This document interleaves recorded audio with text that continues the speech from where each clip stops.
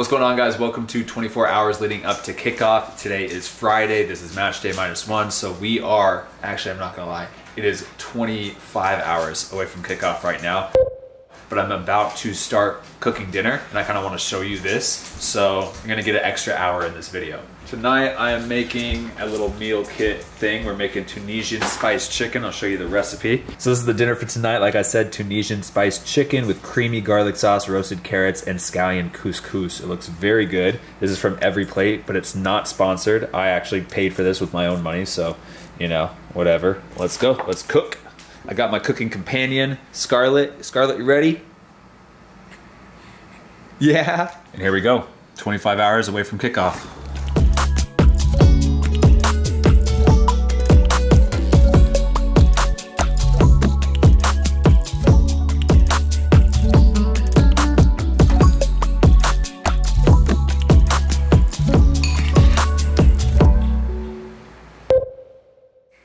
Right, seven o'clock at night. I just finished cooking and preparing dinner. Scarlett slept like the entire time I was cooking, which is amazing. So we are officially now 24 hours away from kickoff, but here's dinner. It looks amazing. Not to toot my own horn, but there's that Tunisian chicken with a little sour cream, garlic sauce, some roasted carrots, and some couscous. So I'm gonna chef it up and send it over to Mimi. Taste test time. We'll start with the carrots. I thought those were potatoes. No, they're carrots. It's like double carb. Are you crazy? Added some chili flakes to the uh, carrots for a little bit of, of a kick. Very good. Let's try the couscous. Not a big couscous guy though, to be honest. What is it made out of? That's not bad. Babe, what is it made out of? Because it looks like barley. It's just couscous. It's like its own thing. That's what is couscous? Hopefully you're not allergic. Babe, I'm pretty sure that's barley. No, barley is a different thing. Final thing, let's try the chicken. This is what I'm most excited about. This Tunisian little rub on it looks amazing with the uh, creamy sauce. You love rubs with creamy sauce. Are you? Mmm. What do you think, Punky? What do you think? That's like a 10 out of 10 chicken. Really? Yeah, it's really good. Excited for you to try it. It's okay. Shut up. Off camera, you just said it was the best chicken that you've ever had. No, I didn't. Real quick, guys, I want to thank the sponsor of today's video, Football Supplements. Football Supplements is a brand specifically designed for footballers. Thousands of players are already using football supplements, and they're even trusted by organizations like Atletico Madrid, Lille, and some players in the Premier League. I've been using their supplements over the last couple weeks, and I've really enjoyed the product so far. My favorite product, though, is Kickoff. I like using Kickoff about 30 minutes before my training sessions, my games, or my workouts. I just add one scoop of Kickoff to some water, and I get a big boost of energy, focus from the caffeine and all the other ingredients inside of this product. Like I said, when I've been using Kickoff, I just noticed that I run farther, I have more energy and more focused, and that's just crucial because at the professional level, you're looking for every single edge you can get to beat out your opponent. They also sent out Intra, which is a carbohydrate and electrolyte mix. Like the name suggests, this is just fantastic to use during your workouts, training, and games to just to replenish some of those electrolytes and carbs that you lose. They also sent out Recovery in the chocolate flavor, which is a protein, carbohydrate, and electrolyte mix. Again, as the name suggests, this is great for recovery. Usually with most protein powders, you just get protein, but as footballers, when we're training, running, playing in 90 minutes, we need to get some carbs and electrolytes in our body after the games or workouts. So this is like your all-in-one recovery drink right here. 25 grams of protein, 17 grams of carbohydrates, and electrolytes all in a scoop of this recovery mix. And finally, they sent out Extra Time, which is just a carbohydrate and electrolyte gel mix. This is great for having at halftime during your games, just a real quick snack to get in those carbs and electrolytes really fast into your body. I've really been enjoying implementing all these products into my daily regimen. It's just so great to have a product that's actually designed for footballers instead of the gym bro generic market out there because it really has all the extra little things that your body needs. If you guys are interested in checking out football supplements, then I'll leave a link in my description as well as my unique code which will give you a discount off of your order. So once again, a huge thank you to Football Supplements for sponsoring this video. 8 o'clock at night, and we're just about ready to bring Scarlett up to give her a bath. But I'm just watching Charleston Battery play Indy 11 right now because we play Indy 11 next weekend in Indianapolis. So just kind of doing a little bit of my own scouting for next weekend, as well as watching some of my former teammates last year at Charleston Battery. But just chilling. Like I said, we'll bring Scarlett up here soon. Hopefully, get like a good seven, eight hours of sleep. Last night, Scarlett slept like seven hours straight through the night, which was very, very nice and, and much needed. So, For who? for you and for me. You need somebody attacking the keeper there. Allen puts it up. That's cleared as far as Asante. Wasn't able to find the back post run there.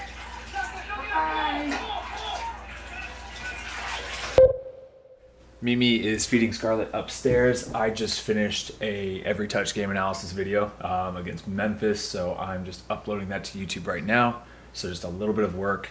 Uh, it's nine o'clock at night, 9:07 to be exact. So I'm just going to make sure this is all going to upload correctly. Hopefully, it'll be up by like 9:30 and lights out by 10. That's the goal. Scarlett. Scarlett's just about ready to fall asleep. It's 10 o'clock at night, so we're gonna do lights out. Hopefully, hopefully she has a good night's sleep. But I'll catch you guys tomorrow morning. Good night. Good morning. It is 7 a.m. Good morning to you. Scarlett had a decent night's sleep. She woke up twice at like 2:30 a.m. and 6 a.m. But Mimi took care of that. Uh, I just kind of slept. Yay. But I will take Scarlett all this morning while you get your massage. Yeah, you excited just to hang out with me all this morning? But we are officially 12 hours from game time, from kickoff. Getting close. 8 o'clock in the morning, Mimi tried to make pancakes. and uh, almost burned the house down. Here's breakfast made by Mimi. We got some pancakes, oranges, and then I have two eggs for myself. So I go and eat this. And then uh, Mimi's going off to her massage, which I got her for Mother's Day. And she's cashing in right now, which is going to be hopefully good. So usually I'd be throwing on a prem game and watching that, but uh, season's over. It finished. So I don't know. There's no games on right now. There's that TST, the soccer tournament that's going on in America that's been fun to watch, but that doesn't start till like noon. Um, so I think I'm just gonna either watch YouTube videos right now and chill, or watch like It's Always Sunny in Philadelphia because I'm on like season four. I'm like, catching up on that to watch that for like the first time. I have my coffee, hanging out. Scarlett's here, but uh, yeah, just chilling for a bit. Mimi's at her massage right now. Hopefully she enjoys that, and uh, that's pretty much it. Pretty slow. So I'll see you guys in about an hour. They're from like the 70s. GPS system? Oh, hell no. 10 o'clock in the morning right now. I am kind of rearranging and, picking up stuff because my family actually gets into town tomorrow. Um, it's kind of weird that they're getting in the day after the game, but they're at a wedding all right now in Georgia. And then so tomorrow they all come in my mom, dad, sister, brother, and then my brother in law and soon to be sister in law all coming in. So I'm really excited, but we also need to like move a bed into this room. We need to move some of the furniture out and some of my filming stuff out. Um, just pick up and do all that kind of stuff just to prepare for that. So Mimi's at the grocery store right now. She finished up her massage. She's getting all the food and everything that we need to, to prepare for my family coming in. And then I'm kind of like on cleanup duty and moving duty, getting it all situated. So doing that right now.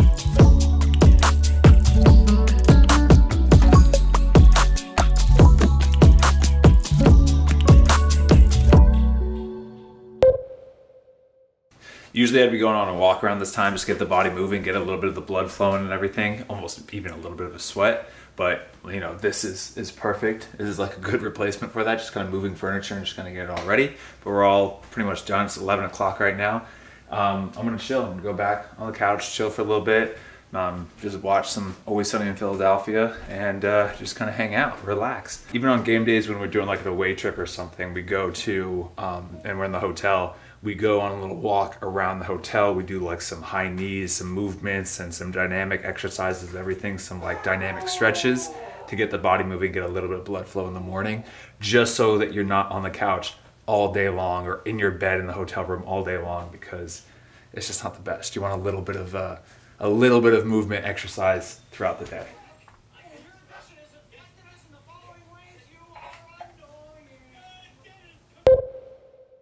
T minus seven hours until kickoff. It's 12 o'clock in the afternoon. Usually, this is when I have the second meal of the day. And I've talked about this in the past, but usually for my game day meals, if the game's at 7 p.m. at night or an evening game, I like to go a big breakfast, a medium sized lunch, a small snack, and then like a banana or something really, really small when I'm in the locker room. So usually it's like 8 a.m. breakfast, big breakfast, 12 p.m. That's when I do the medium sized lunch. 3 p.m. is when I do a small snack, and then probably around like 5 is when I have like a banana or something like that for, for those really simple carbs. So that's usually what I do. And again, you know, it changes a little bit, hour here, hour there, but that's typically what I do. And that's not, you know, I'm not saying that's the best thing to do because I know other players that skip breakfast, have a big lunch, or, or do whatever. You kind of have to find what works for you. So Anyway, gonna have my medium-sized lunch right now. I was gonna reheat dinner from last night, so it's that same Tunisian chicken with the couscous and the roasted carrots. That was delicious. I'm gonna have that, and that will be lunch. One o'clock in the afternoon right now. Scarlett's just sleeping. Over the last like 30 minutes or so, Mimi and I have just been kind of like piddling around and cleaning up, kind of moving around stuff just for the whole family to get in. Uh, my sister also has a newborn, or actually not even a newborn anymore. She's like nine weeks, 10 weeks or so. So we're kind of just getting everything situated about where everybody's going to sleep, you know, little changing stations for the babies as well. We had to, like I said, move the bed in my, uh, my filming studio room. So yeah, just kind of doing all that stuff, picking up. Maybe went and did a grocery run for everybody, but we still got, you know, some stuff to do. So it's, it's really low key. We're just kind of uh, picking up, doing a little bit of stuff, and uh, just hanging out. Scarlett is passed out right now, which is fantastic. We'll probably keep doing this for about half an hour or so, and then, um, yeah, there's you know, game days are pretty slow. It's just kind of hanging around, cleaning up a little bit, watching some football when it's on. But there's not there's not much that goes into game days, to be honest. I'll show you what we did though. We moved. Uh, the table right here, kind of like a changing table to, to change uh, my sister's daughter and my daughter here when they're over. We moved the chairs that I do for the podcast in the living room. Started picking up the living room a little bit. And then this needs work. We need to clean up here. Kitchen's clean though. And then here is the, the filming room, the studio room. We moved the like nursing rocking chair in here so my sister and Mimi can nurse here, the texting chair over there, and then we got the the bed here where my brother and and uh, not brother and sister, my brother and my soon-to-be sister-in-law will be sleeping here. The cats are loving it. I know. Oh my god. I know it's crazy. So this will be their room. We have a guest room upstairs as well. But yeah, What are you doing there, buddy? I'm trying to smoke these hornets to death so I can get their honey. They keep Some flying. very basic science. He's crazy.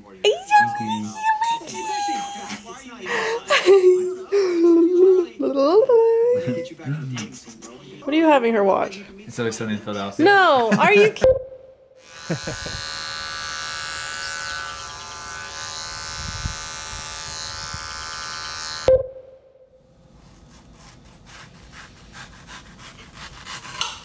All right, it's now three o'clock in the afternoon. I'm just gonna have my snack. For my snack, I'm having a mango with some cheddar snack mix from Annie's. This stuff is the best. So I'll probably have you know a few handfuls of this full mango, and that's what I'm having. Pretty much from now on, I don't like to have anything that's gonna be really heavy. It's pretty much just you know like you saw, like simple um, carbohydrates, simple sugar, stuff that's gonna digest very quickly and it's not going to sit in my stomach for a long time. This is what I found has really, really helped me feel like I have enough energy, but also like I don't have a lot of in my stomach and I feel light. So, yeah. What's up, Smiley Marley? So it's four o'clock, which means I start my like pre-game ritual routine. I already showered since Mimi gave me a haircut, but I'm just gonna kind of trim up the beard, shave, uh, get into my game day outfit, which is always, you know, I'm always like the, the drippiest guy on the team. And then I'm gonna make a cup of coffee. And then after that, it's pretty much just getting Scarlett and Mimi out the door at 4.45 and then we head off to the stadium. So um, hopefully, hopefully we go out on time. Even if we're not, I give myself a huge buffer because I'm not gonna catch a game day fine, which is quite expensive. Uh, do you know what you remind me of? Huh. You know that movie with Ryan Reynolds where he's like in a video game? The free guy. And he wears the same outfit every day. That's how I picture your wardrobe where you just open it, hmm, a white shirt or a white shirt. Pretty much.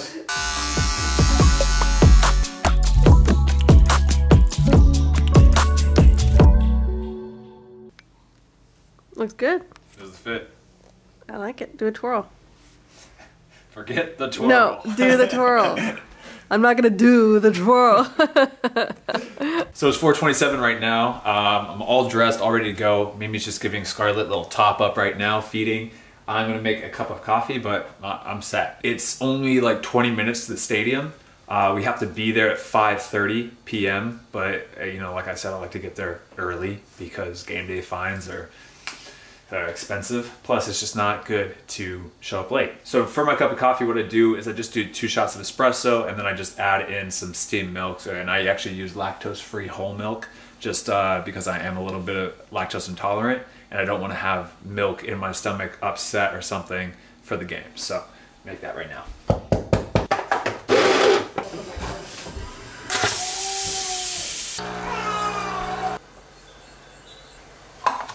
So I realized that I haven't even said who we're playing tonight. We're playing Louisville City FC.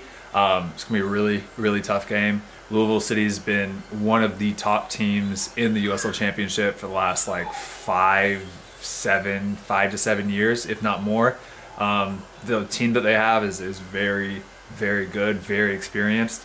And you know, just watching film from them this week and, and scouting them, it's going to be a, a very tough game. But I'm really excited to play. I'm actually playing right mid this game, right winger actually, because we have some injuries in the team, and I just got pushed up. So I'm excited for a new opportunity. I'm excited to uh, play a different position. But yeah, we definitely have a big challenge tonight for sure.